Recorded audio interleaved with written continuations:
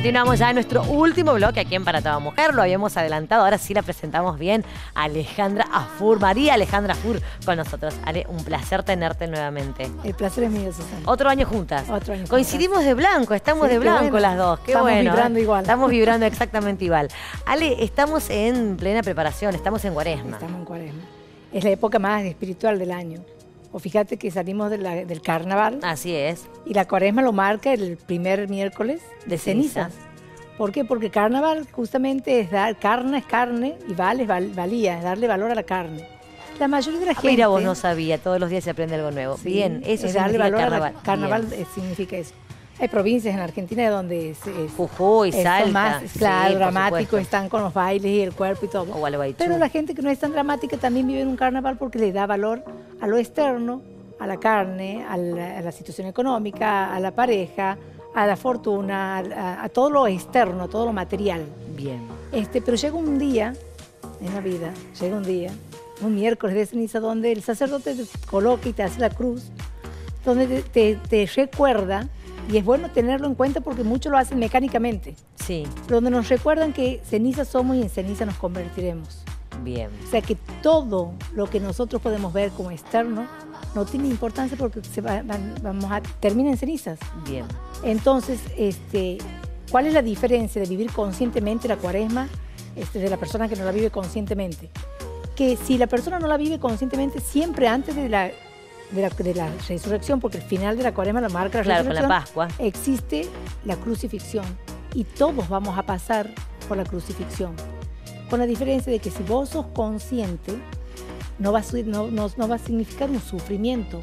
Porque si vos desde ya estás sos consciente que todo lo pasajero, que todo lo externo es impermanente, porque todos nacemos solos y morimos solos, Tal cual. entonces no tenemos por qué apegarnos ni a las personas, ni a, ni a- ni a las cosas, ni nada externo.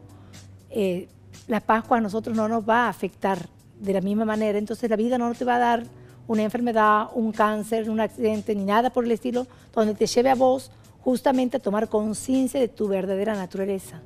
Porque esa es la Pascua, es, es periodo de reflexión, de transmutación, de cambio, Bien. de meditar, de purificarnos, de darnos cuenta de que no somos esto, sino que somos ahí es Tenemos donde que ir adentro resucita, nuestro, claro, exactamente. resucita la el espíritu por sobre la materia. Bien. Es donde nace el Cristo en realidad y es la resurrección. A eso se refiere. Y la crucifixión es, hay gente que le tiene miedo a la crucifixión, pero la crucifixión es necesaria y es algo positivo. Es darle, este, es crucificar, es positivizar el cuaterno inferior. ¿Cómo sería? ¿Cómo sería? Purificando los cuatro cuerpos. El físico, vos este, tienes que sacar todo lo que no usas en tu, en- eh, de tu vida, regalar, renovar tus, tu- tus, este, tus objetos, Bien. dar, limpiar, es purificar, Bien. es hacer circular la energía. En la parte etérica, alimentándote sanamente, teniendo una actividad rítmica, físicamente, hasta Pitágoras aconsejaba el caminar 30 minutos por día, Así el ingerir mucha, mucho agua, este, el tener una alimentación sana, Perfecto. Mentalmente no criticando a nadie, no juzgando, tratar de purificar eso, tratar de hacer el esfuerzo. de Pensamientos no- positivos, que es lo que de siempre no, Más que hablando. positivo es de no poner la atención en las personas, en lo que hace o deja de hacer las personas, no ponernos en, en- en críticos, Bien. ni en, juzgue- ni en ponernos en jueces. Perfecto. Eh, Es el periodo donde tenemos que abstenernos. Lo ideal sería que toda la vida estemos. eh, Claro, pero este en esa actitud. este es el Pero ese es periodo el de periodo reflexión. de reflexión y dejar de ver la, la paja del ojo ajeno y empezar a y tratar de sacarnos en este momento la viga que tenemos en el nuestro. Bien. Entonces, y emocionalmente es el momento donde debemos perdonar.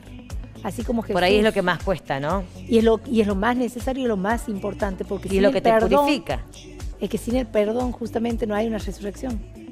Y el mayor ejemplo que lo ha dado, lo ha dado el Maestro Jesús, que ha perdonado, perdona a los padres porque no saben No lo que saben hacen, lo que están haciendo. sin cuestionar.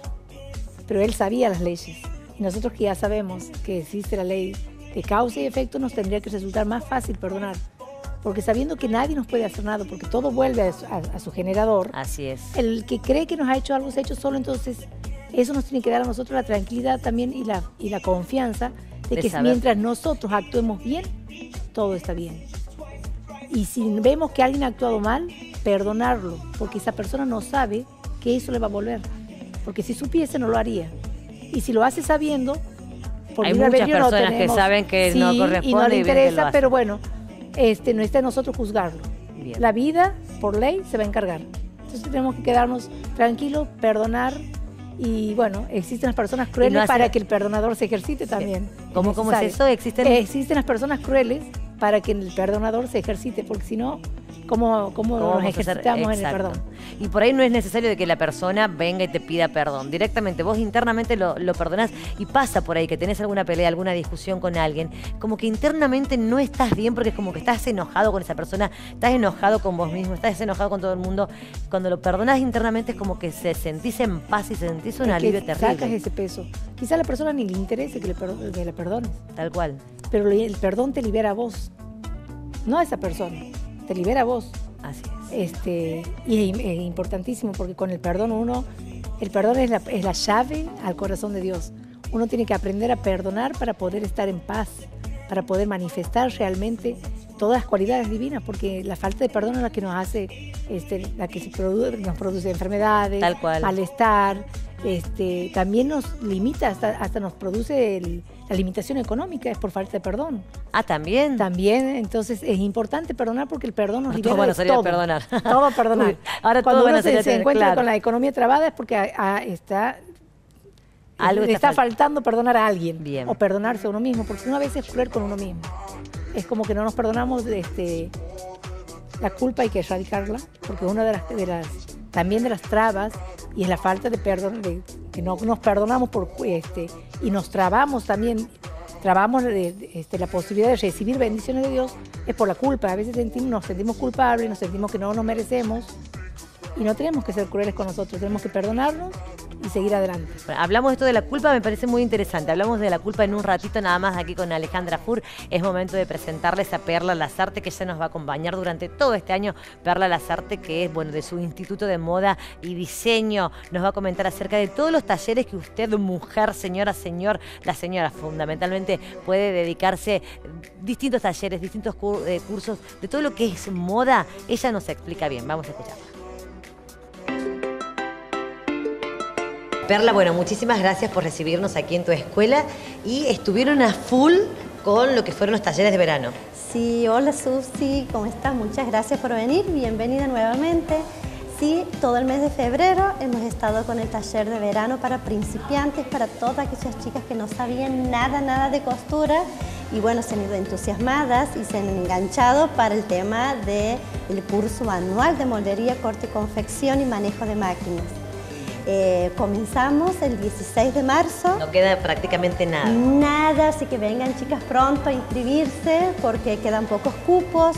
Son, los grupos son no más de 10 chicas para que podamos eh, coordinar bien, trabajar tranquilas, eh, podamos divertirnos porque esto es pasarla, el tiempo que se viene aquí a compartir es muy lindo. Merlita, ¿y en qué consiste este curso? Llega la, la, adolescente, la señora, llegan las chicas y ¿qué es lo que ven en el curso? Eh, primeramente, primeramente, como siempre les digo, para hacer un buen molde tenemos que tener una muy buena toma de medidas y para hacer esa buena prenda tiene que ser la conexión medida, buen molde y el calce perfecto en las prendas. Y eso es lo que las chicas logran aquí. Tenemos nenas de 12 años de edad que están súper, súper entusiasmadas y para seguir el curso eh, anual de, de, corte y confección. ¿Pueden aprender a hacer cualquier tipo de prenda de vestir? Cualquier tipo. El primer año es la parte base donde se trabaja todo lo que es en moldería base corpiño, base falda y base pantalón. Y un segundo año que es opcional, que es toda la parte de alta costura, donde vemos 15 años, egresadas, novias, y sinceramente les puedo asegurar, el desafío mío es que todas las chicas puedan hacer un vestido de alta costura. Me decías que uno de tus alumnos tiene 12 años y se realizó su propio vestido de 15. Sí, cuando esto es una anécdota muy linda y para mí es muy, muy eh, importante contarlo porque Azul Morini, eh, una nena que comenzó en el taller que tenía en casa eh, a los 12 años y el año pasado al cumplir sus 15 años se realizó su propio vestido de 15 años. ¿Y cuántas veces a la semana tienen que venir? Bueno, son dos veces a la semana, dos horas por día. ¿Tiene que traer su propio material? y yo le doy, les regalo el instructivo, el primer instructivo y después eh, de a poquito van trayendo los materiales para que ya les quede por si acaso quieren eh, o sea, hacer en su casa todo lo, que son, digamos, el repaso de todo lo que hacemos en la clase y ya les va quedando los materiales para ellos. Esto es con respecto, al curso anual. ¿Y tienes talleres también? Tenemos talleres también que son específicos en blusas, específicos en pantalones y faldas. ¿Para todas las edades? Para todas las edades. O sea, ¿tienen que tener más experiencia para esto? No, porque el taller intensivo es para aquellas chiquitas que quieren hacer para ver si les gusta y después se enganchan con el, con el curso anual. Muchas gracias a Perla, un beso muy pero muy grande para ella, así que todo lo que sea corte, confección, moda, lo vamos a hablar con ella en el transcurso de todo este año. Eh, bueno, decíamos Elsa Gladys Álvarez que nos está viendo desde Tucumán, un beso muy grande a toda la gente de Tucumán. Tere Ferrari dice, excelente reflexión, el perdón nos libera, es la verdad, dice Tere Ferrari. Eh, que felicitaciones Alejandra Fur, te mando un beso grande para vos. También Betina Luna, muy buen el programa. Bueno, toda la gente que se está comunicando con nosotros, muchísimas gracias. Ale, ¿por qué son 40 días? Bueno, son 40 días porque tenemos cuatro cuerpos y hay que purificar, como es la época de purificación, es para purificar el cuaterno inferior. Eso es que hablábamos Nosotros tenemos, aparte del cuerpo físico, tenemos pegadito el físico el etérico, o el vital que le llaman, que hay gente que lo puede ver como la aura. Claro, es la vitalidad, está pegado al físico. Después tenemos el cuerpo mental y el más grande de nuestros cuerpos es el emocional.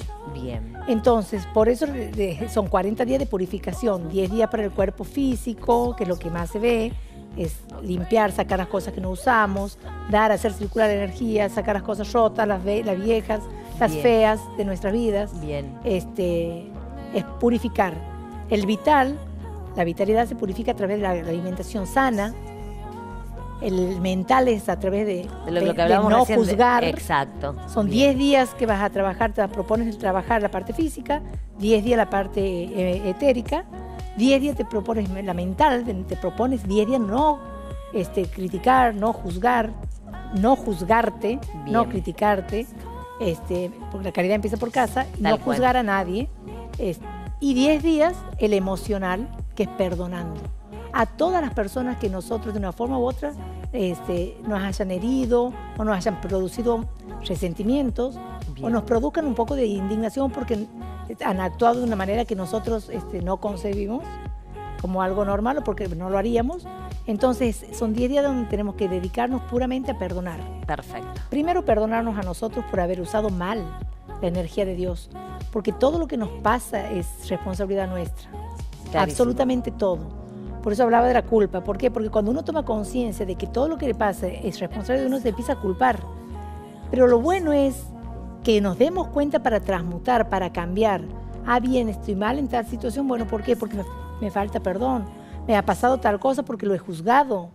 Si yo me doy cuenta que es lo que me ha llevado a vivir esa situación negativa, es, eh, me tendría que causar tranquilidad y, alegrarme porque me da la posibilidad de cambiarlo. Exacto. Entonces tenemos que alegrarnos cuando nos demos cuenta de, las, de todas las cosas malas que hacemos, de las negatividades. Es como que eh, reflexionamos, es como que por ahí llegamos a fondo, tocamos fondo y es como que ahí... Para que resucite la espiritualidad. Como la Así es. Es que es así. Bien. Se produce una resurrección de la espiritualidad, de la divinidad por sobre la materia. Bien. Por sobre lo externo, por sobre lo impermanente. En este periodo de cuaresma, ¿qué, le dirías vos a, nuestros televidentes? Que aprovechemos este momento, este, que tenemos la asistencia de, Jesús sobre todo, y, perdonemos.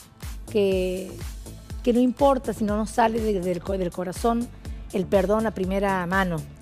Eh, pasa a los hombres de buena voluntad, dice este, Dios Padre, así que el tener la buena voluntad, el decir yo quiero perdonar, aunque no puede en este momento, pero el querer ya nos va a dar paz a nosotros, porque ya tenemos la buena voluntad de hacerlo. Entonces, de tanto decir te perdono, te perdono, va a llegar un momento que vamos a poder perdonar. Perfecto. Porque a veces no nos sale fácil. Uno dice, ah, sí, lo perdono, pero hay, a veces situaciones el, tan fuertes que queda. Entonces hay que insistir en perdonar. Yo quiero perdonarte. Eh, mentalmente no hace falta hablar con la persona. Bien. Incluso quizá la persona ya no esté aquí encarnada. Este, estemos resentidos con alguien que ya, no está en este plano, que ya no está este, físicamente, pero eh, necesitamos perdonarlo, entonces perdonamos. Perdonamos y perdonamos. Trabajemos el perdón. Y si nos cuesta mucho, pensemos y meditemos un poquitito en la, en la crucifixión de Jesús y veamos que lo nuestro es nada a lo que Él ha tenido que pasar. Totalmente. Este, por tanto, sufrimiento para revivirnos a nosotros como ejemplo. Entonces, una manera de demostrar que lo amamos este, es no, no contemplar como algo grandioso que Él ha hecho, sino hacer lo mismo que Él. Si Él ha sido capaz de perdonar eh, tan gran crueldad que ha cometido la humanidad en crucificarlo, de la manera en que lo, lo, matan, siendo un hombre que lo único que ha hecho es sanar, amar, y Él ha sido capaz de perdonar, entonces cuánto más nosotros, que seguramente es nada a comparación de lo que le han hecho a Jesús. Bien. Ale, ¿en dónde te puede encontrar la gente? ¿Seguís con en el Carlos V? sí, sí, estoy en el, en el Hotel Carlos V sí. todos los sábados de 20 a 21 horas. Bien, ¿esto es con entrada gratuita? Es gratuita, es libre y gratuita. ¿De 20 a 21? Es de 20 a 21, en la sala 2 del Hotel Carlos V. ¿Y qué? Yo no invito, yo aviso que estoy, porque eso tiene, el, ser te lleva. Si yo aclaro para que no piensen que yo estoy invitando. Yo les comunico que estoy todos los sábados de 20 a 21 horas en el Hotel Carlos V y bueno, su ser. ¿Y ahora el próximo sábado de qué vas a hablar? y vamos a seguir con, la purificación, vamos a seguir purificando, estamos purificando la, parte física, el cuerpo físico, y entramos a purificar la parte etérica y emocional, que son las, las, las fuertes también, que es el tema del perdón, el, a través de decreto y todo lo demás. Bueno, tenemos para seguir hablando un montón con Ale. Ale, un placer tenerte y bienvenida nuevamente. muchas gracias. El placer ¿eh? es mío. Dale, muchas gracias. Llegamos a los minutos finales aquí en Para Toda Mujer. Un placer compartir con todos ustedes. Nos vamos a despedir hasta el próximo jueves aquí en la pantalla de Canal 14. Push